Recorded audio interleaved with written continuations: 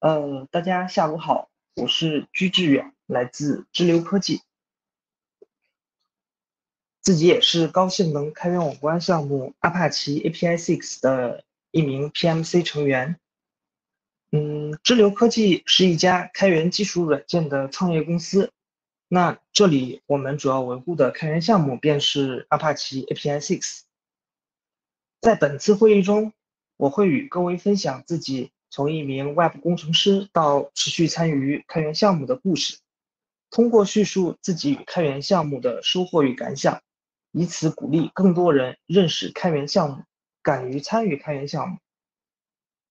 那么，在介绍开源项目的感想之前，那我想先分享一下自己的 Web 学习经历。在二零一五年高考结束之后呢，嗯，对我是去年刚毕业。然后一五年高考结束之后，由于自己对 Web 相关的技术比较有兴趣，毕竟它是那种可见即所得的。你修改了一些代码之后，那在浏览器中可以很快速的看到效果，然后调试起来也很方便。那正是这一点就吸引到了我。然后我通过搜索引擎查询并学习与之相关的很多课程。那不管是文字啊，或者是视频啊，就没日没夜的在看。那在过去五年中呢，我的 Web 学习经历可以分成三个阶段。首先是茫然不知所措，这是自己在刚接触 Web 编程的时候自己的一种状态，因为我不知道为什么这个页面会被渲染出来，在浏览器中它就可以渲染出来。那为什么有些页面它加载的速度快，有些页面加载的速度慢？那又比如说我自己编写了一些静态页面之后，我想把它发布出去，那除了 FTP 这种方式之外，是否还有其他方式？那别人是怎么做的？然后暑假过了之后，在加上了大一之后呢，嗯，自己通过一些。朋友介绍了一些项目，然后我就接到了学校学生处的一个小项目，帮学生处编写一套内容管理系统，也就是当时特别火的 CMS。但其实接项目的时候，我是只会做一些基本静态页面罢了，根本不知道 MySQL 啊这种后端是怎么怎么处理的，然后前端这种动态渲染是怎么做的。当时就纯粹就只会做一些静态页面，那尽管如此，但我还是把它给接了下来。我感觉通过搜索引擎应该可以解决掉。嗯，然后通过不断的查询、尝试，然后踩坑、踩各种各样的坑，浏览器兼容性啊，或者说呃网页加载它过慢啊，这些各种各样的坑。最终完成了项目。那通过实践的方式来做项目的话，相当于是把自己学的那些内容也给实践了一下，会加深印象，然后也能够加深理解。上面这个图呢，就是我当时做的页呃做的 CMS 的一个首页，它还有一个配套的后台管理系统。在后台里面，通过对文章、对不同分类下的文章进行文章的编辑发布，那前端就可以动态的渲染出来。这个网站当时在学校里面，它毕竟是学校学生处的一个门面，那其实访问量还蛮大的。然后观察底部的话，我在底部留下了一个呃，相当于是 made by。对，上面加上了我自己的名字和一些基本信息，然后后面呢，也是因为这个地方留下来的信息，后面有更多的项目就找到了我。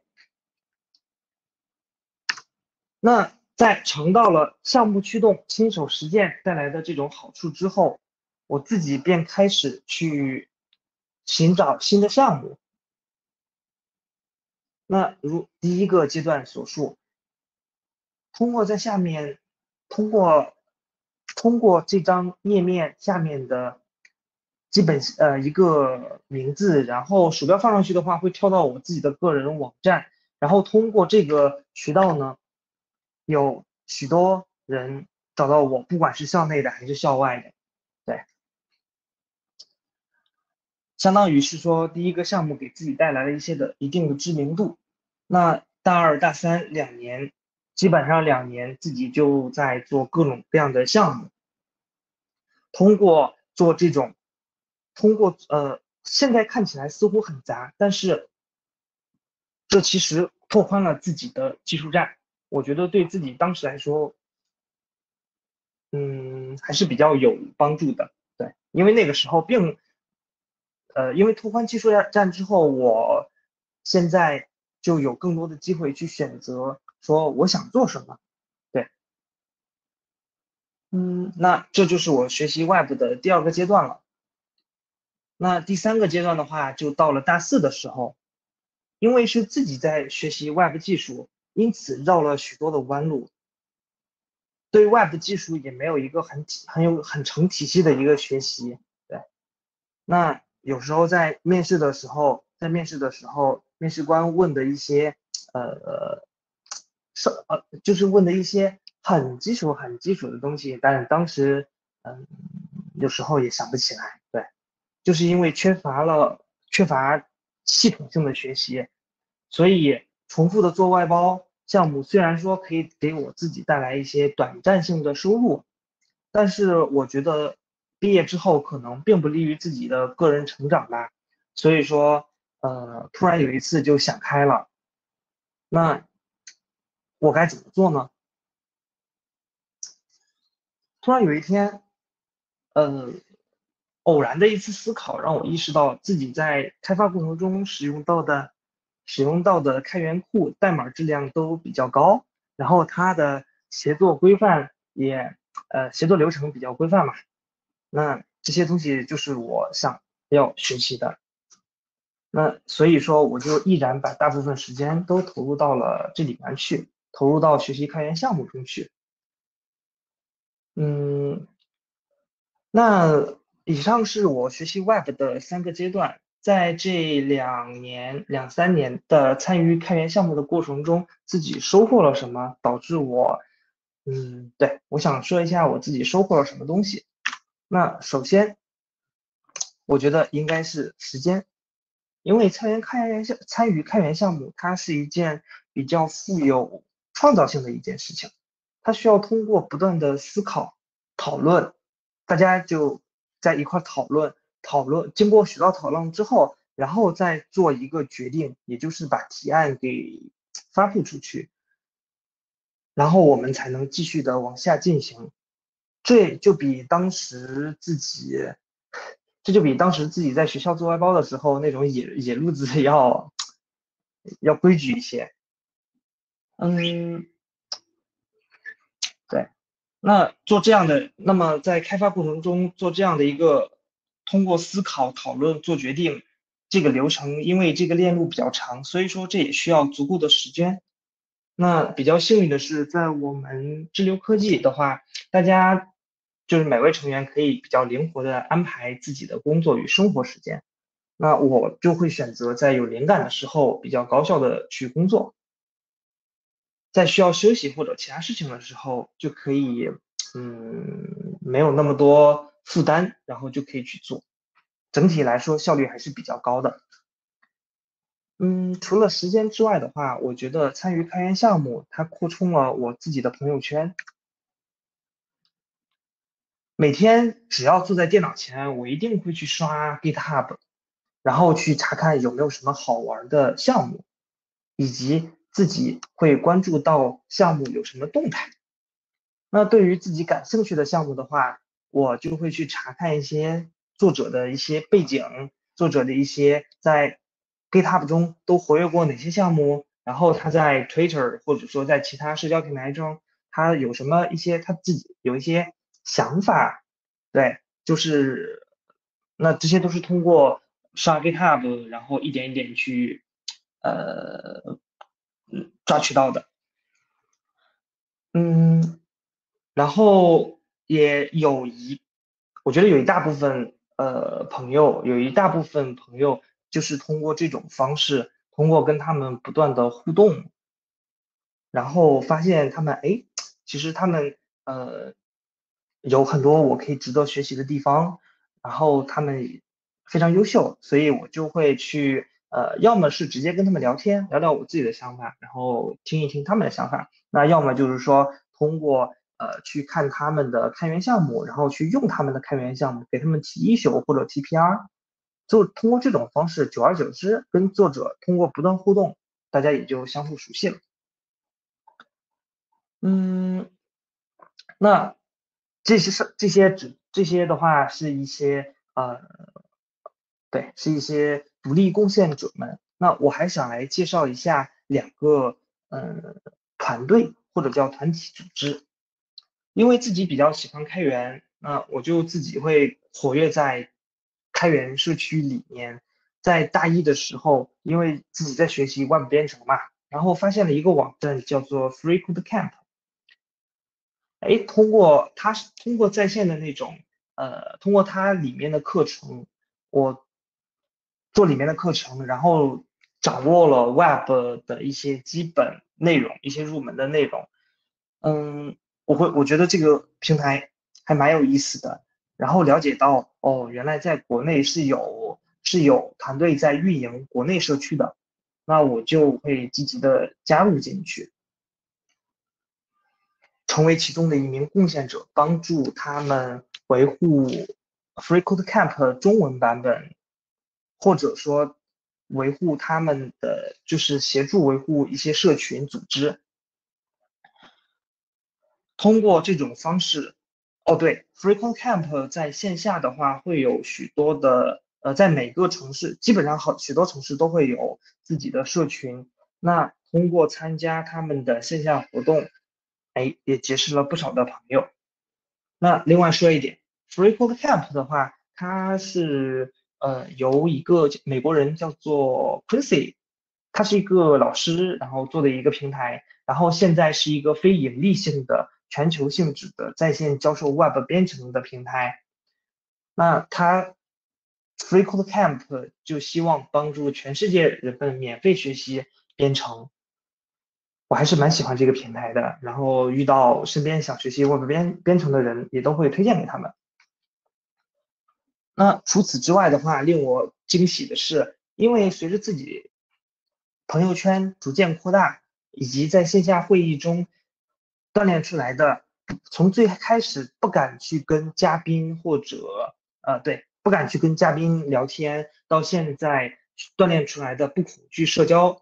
这种性格，那自己呃以志愿者身份加入到了一个名叫津津乐道播客的团队。其实津津乐道的话，它是由各领域大牛联手制作的高质量中文播客，然后目前月活已经超过了百万。团队里面有许多，嗯，对，有许多我早已知晓的那些牛人，然后没想到通过这种方式拉近了与他们的距离，算是一个惊喜吧。那在参与开源项目的过程中，嗯，还有一个我所收获的技能，呃，所收获到的一点就是说，技能。举个例子，在开源在参与过程中，我会。比较注意我所用到的库它的项目结构，它的代码规范，然后会去读它现在有什么 issue，然后有哪些 issue 被讨论的比较多，呃，然后有哪些 PR，他们在聊什么，然后做什么。以 code review 为例子，呃，以 code review 为例子的话，嗯，我就会比较关心那些被改变的代码。作者为什么要这么改？为什么要这么做？如果是我的话，我会不会这么做？或者说，我是否有更好的办法？那有些时候我会觉得，嗯，作者可能这个地方写的不对，或者我没有看懂他在干嘛，我就会留下我自己的评论。然后突然可能第二天或者下一周，然后你就能看到 GitHub 上面有一个通知，作者就回复了你的自己的问题。哎，那这个时候有时候发现自己想错的话，通过作者的描述，可以使自己的逻辑能力更加严谨，或者说可能校正了之前自己校正了之前呃学习不对呃没有掌握的那些知识点。那有时候作者会觉得，哎，可能我的想法会更好一些，然后他就会采纳进去，然后经常性的会回你一句 thanks，对，然后我我就是。我自己就是通过这种你一句我一句的讨论，然后逐渐提升了自己在 Web 上面的一些专业技能。嗯，那么对于没有参与过开源项目，但是又感兴趣的小伙伴，那他们应该如何参与进来，而不是一直在观望呢？我觉得通过那这个就是下一个问题，如何参与开源项目？我觉得通过贡献代码是一种比较常见的，然后参与开源项目的一种方式。在自己做 Web 编程的过程中，会用到许许多多的开源项目库。比如说，早在当年有一些呃像 Bootstrap 这种 UI 库，或者说像我们现在 API Six Dashboard 用到的 AutoDesign 这些 UI 库。那有时候就会呃用他们的库的时候。就会发现，有时候实际的表现效果跟文档描述的不一致，或者说你跟着文档走，发现它行不通。那如果假定说确定这个地方它是 bug 的话，我们可以等社区里面其他用户参与来修正。那我们也我也鼓励，呃，至少我自己会这么做。对，如果发现呃 GitHub 里边没有人去这样做的话，我自己就会去尝试定位这个问题，然后解决问题。提交一个 PR。那这张图上，呃，是我在二零二零年的 GitHub 上面的 commit 记录。然后从图中可以看到，最近比较活跃的是在我们的呃 API Six 项目和呃对 API Six 相关项目当中。嗯，然后从呃，然后下面这个选择器。可以看到，二零二零年也帮助 AutoDesign，还有一个 RGSF Team，这个他做的是啊，是一个呃，是一个把 JSON Schema 呃 JSON Schema 变成 UI 的一个库，对，帮助他们呃修改了一些呃 bug，对自己还是蛮有成就感的。然后除了贡献代码的话，那还有没有其他方式呢？我觉得。不只是代码，那我不只是代，就是贡献参与开源，不仅仅是贡献代码。以 API6 为例，API6 作为一个高性能的开源网关项目，功能非常丰富，并且贡献者们的数量也是在不断增加。那随着贡献者推动项目快速迭代，这就造成了有时候文档和代码不同步。经常性的是代码会新于文档，对比文档要新，所以跟着文档会出现嗯各种奇怪的错误。那这个时候我们就可以尝试嗯做，如果说呃如果说我没有能力去修正的话，那我们去提交 PR 就可可以。如果说觉得这个地方有问题，但是不知道错在哪呢，那我们提交一个 issue，让社区让社区的 committee 都。社区的 committee 或者 PMC 知道有这么一个问题，这也算是参与开源。嗯，除了这个之外的话，对于文档上面的话，文档上面，比如说有时候错别字，嗯，或者说有时候语句描述的不通顺，或者国际化问题这种需求，那大家都可以去尝试参与进来。这部剧可以用呃 Google 的翻译或者说 DeepL 这种翻译来来把中文翻译成英文，英文翻译成中文这样子。只有活跃的贡献者们才可以推动项目，就是推动我们阿帕奇 API Six 更好的发展嘛。嗯，OK，上面的话便是我这次的分享。主要是讲了自己的 Web 学习经历，然后通过 Web 学习经历，发觉到学习开源项目应该是一个很有必要的事情。那到现在的一直在参与开源项目，然后从开源项目中收获到了不少，我觉得还比还挺值得的资源。对，然后最后的话就是讲一下我个人是如何参与开源项目的。那我希望通过上面的一些内容呢。给还在观望开源项目的小伙伴们带来一些启发，然后鼓励更多人参与到开源项目当中。对，那谢谢各位。嗯，那我看一下有没有什么问题。嗯，那各位有没有什么问题啊？可以在这边呃评论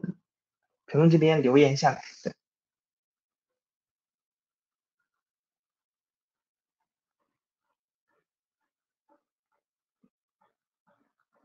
嗯，可以随便问，对，不仅仅是，我是去年刚毕业，呃，相当于是现在是正好一年的工作经验，然后，呃，我也觉得比较幸运，可以去，现在可以以做开源项目为一个职业，我觉得挺酷的，对，而且比较自由，大家可以随便问。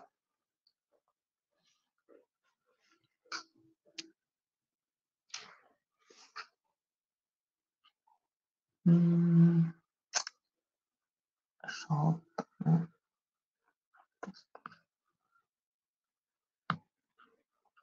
开源项目的话，哦，是这样的，呃，我我我是呃，可能可能开头的时候您没在，然后呃，我是智流科技的工程师，然后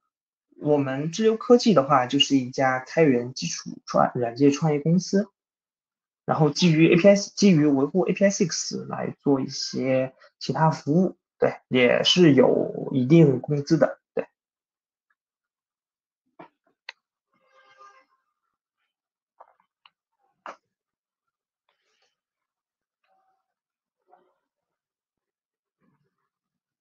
嗯，当时在学校的时候就一直在想，啊，什么时候自己可以，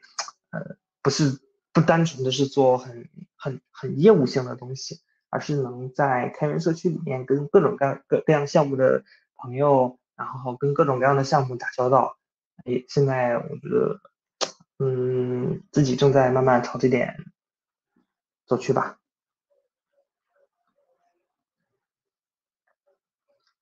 如果对我们智流科技感兴趣的话，可以去，对，可以。嗯，可以了解一下。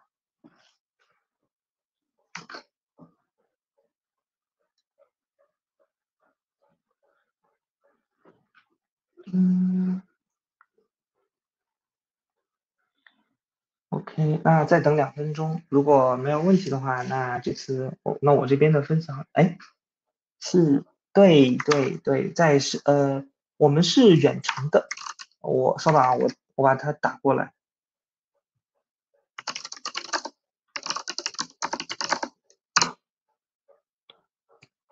然后我们是呃是是远程形式的，这样子大家呃效率会比较高一些嘛。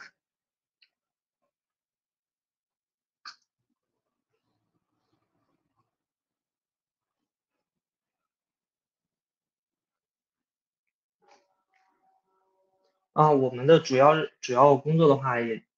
呃，主要工作的话也确实是围绕着 API Six 来转的。然后今年的计划是把它，呃，API Six 那块儿我没有负责。然后 APS 大区 dashboard 那块儿的话，嗯，今年的话会有比较大的改动，然后争取让它做得更好用，不仅仅是能用。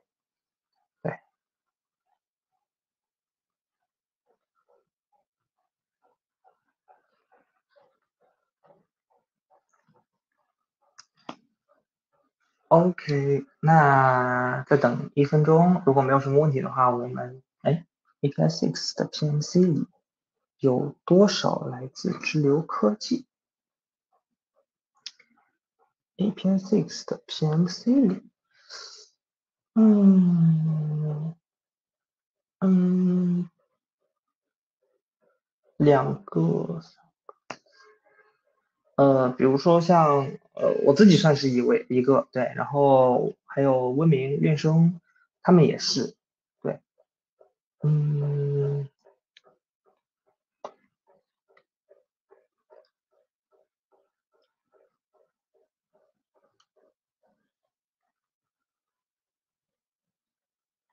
然后我们这块儿的话，有一个就 API Six 有一个自己的阿帕奇页面，在里面可以看到具体的信息，我发出来。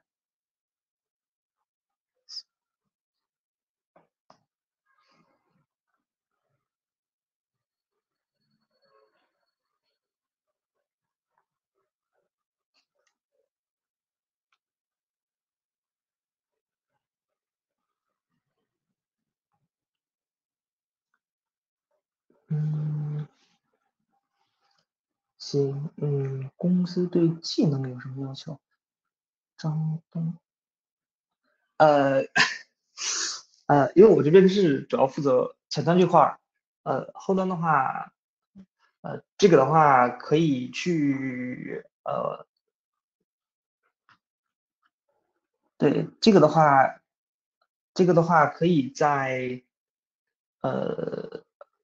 Google 或者其他搜索引擎上搜“支流科技”，然后里面会有一些相关的介绍。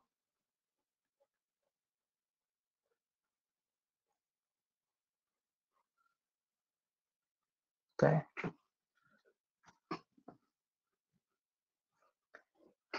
OK，那 Jessie 还有东招有没有其他问题了呢？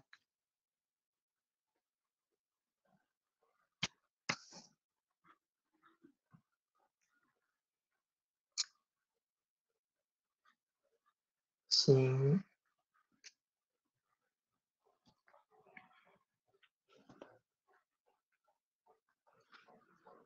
行，那我们这次分享就先到，哎，目前没有是吧？那行，那我们这次分享就先这样。然后如果 API Six 上有其他问题的话，可以在 API Six 的呃 GitHub Issues 里面来提问。对，行，那谢谢各位，拜拜。